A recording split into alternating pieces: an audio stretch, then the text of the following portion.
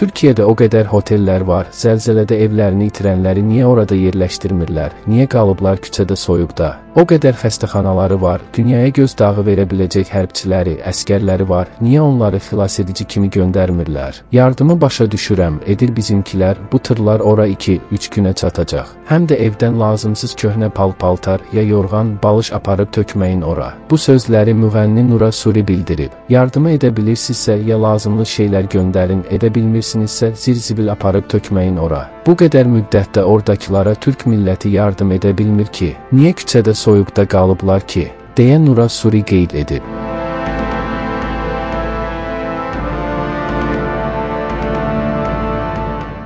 thank you